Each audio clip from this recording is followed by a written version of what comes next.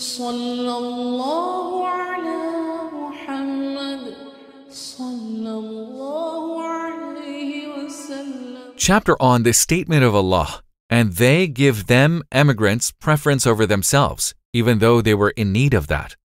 Quran, Surah Al Hashr, chapter 59, verse 9. Narrated Abu Huraira, may Allah be pleased with him, a man came to the Prophet, peace be upon him, as a guest. so he, peace be upon him, sent a messenger to his wives to bring something for that man to eat. But they said that they had nothing except water. Then Allah's messenger, peace be upon him, said, Who will take this person or entertain him as a guest? A man from the Ansar said, I.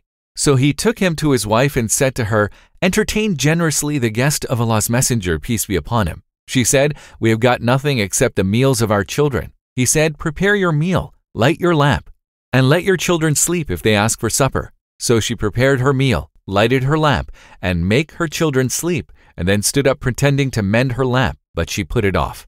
Then both of them, the husband and wife, pretending to be eating, but they really went to bed hungry.